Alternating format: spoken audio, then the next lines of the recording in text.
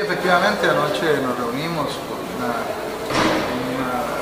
largo rato para eh, discutir sobre nuestras aspiraciones en el directorio de la Asamblea Legislativa a partir del 1 de mayo de este año y lo que hemos resuelto efectivamente es que la Dirección Nacional va a intentar alcanzar la presidencia del directorio y luego los compañeros me han propuesto a mí para, para representarlos en esa comisión. Se ha mencionado que la propuesta sería un directorio una fórmula multipartidista y usted está eh, pensando o contando ya con el apoyo de la sección oficialista.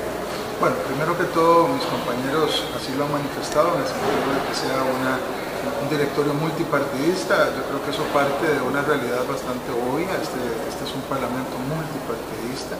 Sin el concurso de 29 no se mueve nada y, sin el concurso de 38 diputados y diputadas aquí no pasa nada.